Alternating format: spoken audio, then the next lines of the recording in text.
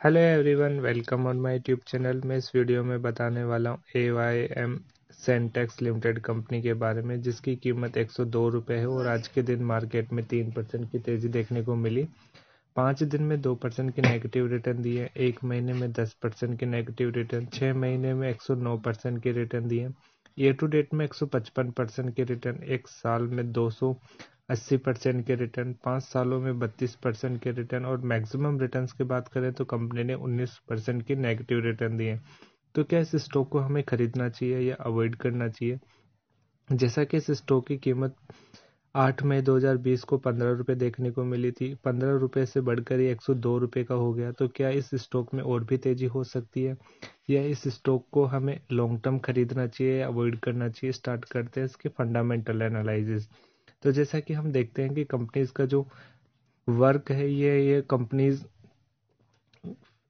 Yarns leadings में काम करती है और इसका मार्केट कैपिटलाइजेशन 512 करोड़ का है। करंट प्राइस एक सौ दो रुपये का लो एक पच्चीस रुपये का बनाया था हाई एक सौ तेईस रुपये का। स्टॉक का भी नौ पॉइंट तिरासी है। Dividend zero zero R O C नौ परसेंट आर ओ ई चार परसेंट फेस वैल्यू दस रुपये की डेप्ट इक्विटी पॉइंट सिक्स टू है। कंपनीज़ के क्वार्टरली रिजल्ट्स की बात करें तो कंपनीज़ के क्वार्टरली रिजल्ट्स यहाँ पॉजिटिव देखने को हमें मिले। कंपनीज़ को यहाँ कंटिन्यूस प्रॉफिट हो रहा है, जैसा कि आप यहाँ देखते हो। कंपनीज़ को कंटिन्यूस तेरह करोड़ का प्रॉफिट हुआ। ईयर ऑन ईयर बेसिस पे देखें तो कंपनीज़ का ईयर ऑन ईयर बेसिस पे प्रॉफिट बढ़ता हुआ नज़र आ रहा है। बावन करोड़ का प्रॉफिट कंपनी को। और यहाँ पे रिजल्ट्स की बात करें तो कंपनीज़ के जो रिजल्ट्स है, वो भी यहाँ पे कंटिन्यूस बढ़ते हुए हैं। और यहाँ पे आप देखते हो कि कंपनीज़ का जो शेयर कैपिटल उसमें भी हमें काफ़ी तेज़ी देखने को मिली है। कंपनीज़ अपना बोरिंग्स यहाँ धीरे धीरे कम कर रही है, जैसा कि इसमें पिछले क्वार्टर के रिजल्ट्स में देखें तो कंपनीज़ को 236 करोड़ के रिज़र्व बोरोइंग्स है। तो ये कंपनीज़ काफ़ी अच्छी है as a long term period के लिए, अगर आप इसमें इन्वेस्ट करते हो। बट आपको इसमें थोड़ा पेशेंस के साथ वेट करना होगा और थोड़ा कम इन्वेस्टमेंट करना होगा।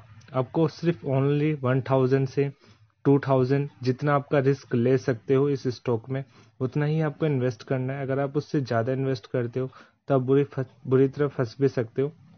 तो जी दोस्तों, कम इन्वेस्टमेंट कीजिए, चाहे आप 500 इन्वेस्ट ही कर सकते हो, ज़्यादा इन्वेस्ट नहीं करना। अगर आप इसमें ज़्यादा इन्वेस्ट करते हो तो आप बुरी तरह फंस भी सकते हो।